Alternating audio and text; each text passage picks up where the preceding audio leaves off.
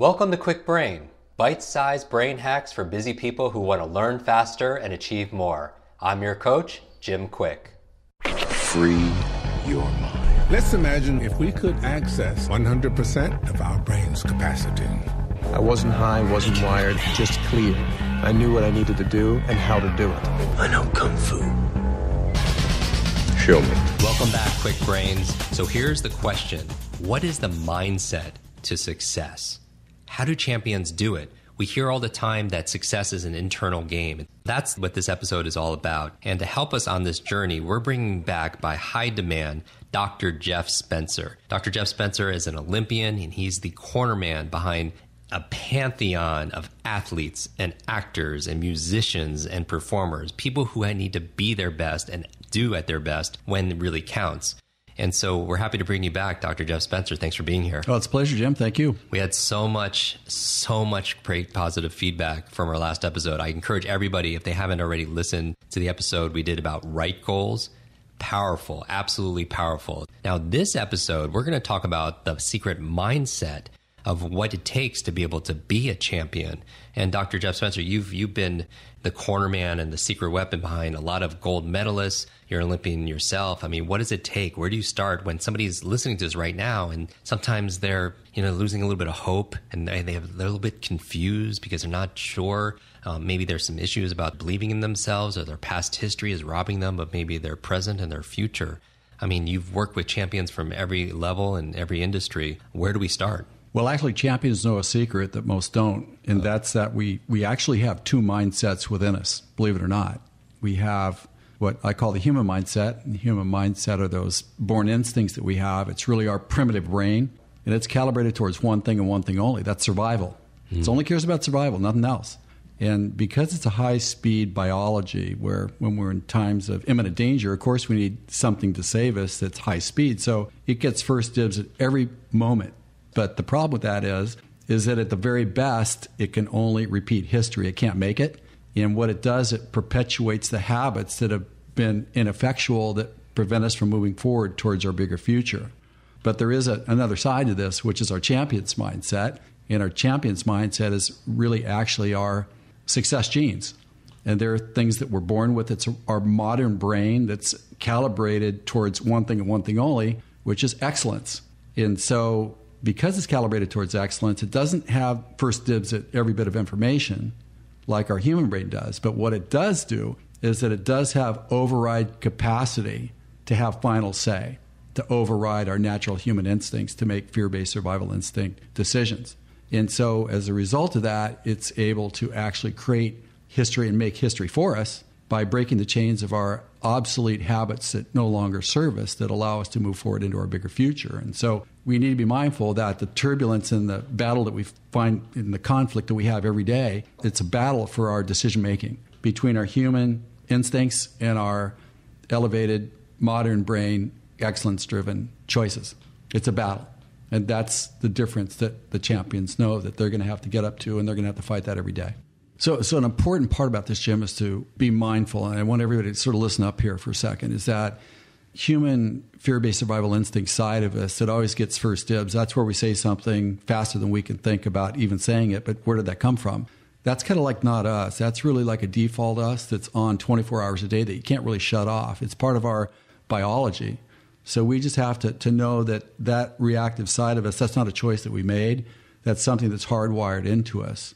But we can override that through the application of the champion's mindset. And just to sort of give you a an example of the distinction between the two. So let's say that we're given an opportunity. And so the fear based survival instinct, the human nature us that everybody talks about, it would say, well, God, you know, what do I stand to lose here? Oh, geez, I don't know if I want to do this. You know, it's pessimistic, it's uh, fatalistic. It, it, we just sort of demotes our confidence. It just makes us like a shivering chihuahua, right? On the other side of it, you got the champion's mindset that says, you know, what is it that I stand to gain here? And so it's optimistic, it's looking towards a bigger future. So there's this inherent conflict, and we just have to make the choice which side of the aisle that we're going to make our decisions from. So, how do people, and you had, you're speaking the listeners' languages here because we're using words like excellence and you're talking about the brain behind it. How do people spend more time in that champion mindset? The most important thing is that every day you have to do a conscious commitment to that before the day actually gets started. And I've created a chart uh, that contrasts the human mindset with the champion's mindset, and it looks at the criteria and how the champion mindset would answer life's challenges and how the human mindset would address them. And when we look at that and we are familiar with that every day, we look at it and we say, okay, I have a choice. I've got 16, 18 hours in front of me where I have to make a deliberate choice about how am I going to show up today? Who's going to make my decisions? Is it going to be my fear based survival instincts, again, where I repeat history? I reinforce the chains, or do I break the chains by applying my success genes and making decisions that come from the champion's mindset itself? You got to make a deliberate choice on that you can't defer it until later in the day because if we wait till later in the day, then we've already started to react from our human mindset. And then we end up creating a day that was dancing through everybody else's hoops and we didn't get anything done that we needed to do to advance our life towards our bigger future. So self awareness plays an important role. Yeah, it's it's actually deliberate, scheduled awareness to make sure that there's no ambiguity about the fact that we did put on the war paint, we did put on the armor to successfully engage the day. It has to be I'm going to say ritualistic, but not ritualistic in a sense that we show up and we dogmatically recite something while we're thinking about something else. I'm saying we're, that we're deliberately contemplating the fact that we have a playing field in front of us that gives us an opportunity to step forth with that best version of ourselves to create a quality day, not only for ourselves, but to show others that it's possible to break the chains of the past in terms of our decision making. So, why don't we jump into examples of how the human mind reacts to something and how the champion's mind actually responds to something? For sure. A, a great example of this would be let's say we're given an accountability. The human mindset will say, Well, I'm doing the best I can. Uh, where the champion would say, yeah, No, man, I'm going to find a way. Don't worry about it. I'll find a way through this. And you would also look at, let's say, uh, the uh, human mindset which says, Well, you know, I have to be perfect to be able to perform at my best. And the champion says, no, it's not about perfection. It's about doing the one or two things that have to go right to move the needle. You would look at uh, another example uh, of this would be in the human mindset. Well, what is it that you can give me? For the champion doesn't think like that. The champion says, what can I give you? And the human mindset would say, well, I feel fear, so I'm not going to even try because I already know what's going to happen where the champion says, Well, yeah, I feel the fear too, but I'm going to do it anyway. And so rather than the human mindset, like, Well, I whine, the champion, Well, I'm going to win. So there are key things like that that I think that if we really look at, and these are things that we can actually take an active role in that reinforce our capacity to create a day of value for us, but it serves as an example for other people. Some simple things that can be done that are not ethereal, but they're really real.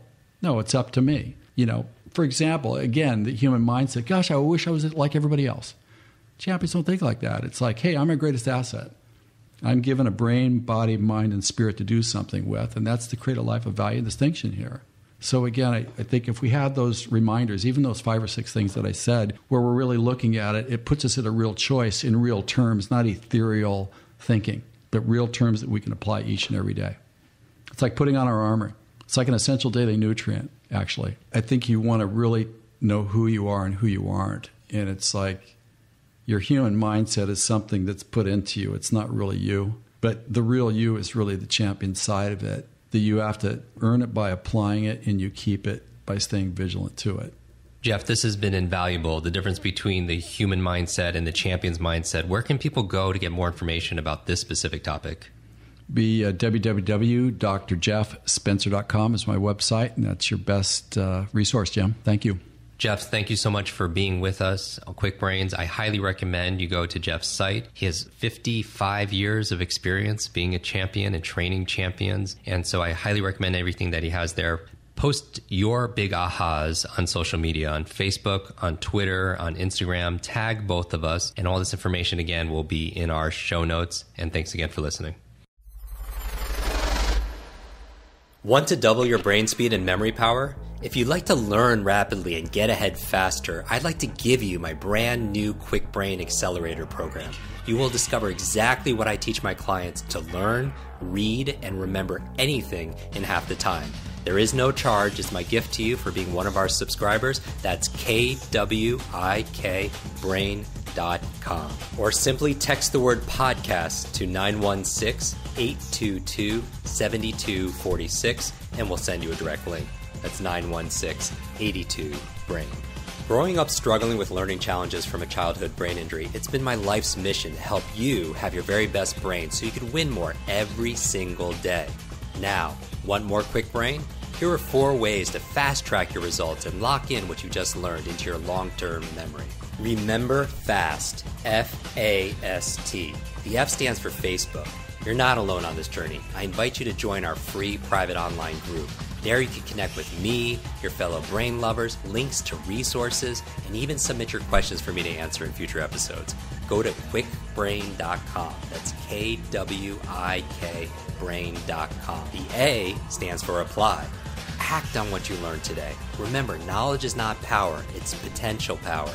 It only becomes power when you use it. So use what you just learned. The S stands for subscribe. Don't miss the next episode and other free brain training. And finally, the T stands for teach. You want to learn faster now? The key is to lock it in right away by teaching it to someone else. When you teach something, you get to learn it twice. Here's a simple way to do that leave a review on iTunes. Leave a review with your biggest takeaway from this episode. You could also post and share this podcast on your social media. It helps us spread our mission of building better, brighter brains. And of course, tag us so our team can properly thank you. Hashtag KwikBrain, K W I K Brain. Mine is at Jim Kwik, K W I K, on Instagram, Facebook, and Twitter. So, what does FAST stand for? Facebook, apply, subscribe, teach. I'll see you in our next episode of Kwik Brain. Until then, remember, you are faster and smarter than you think.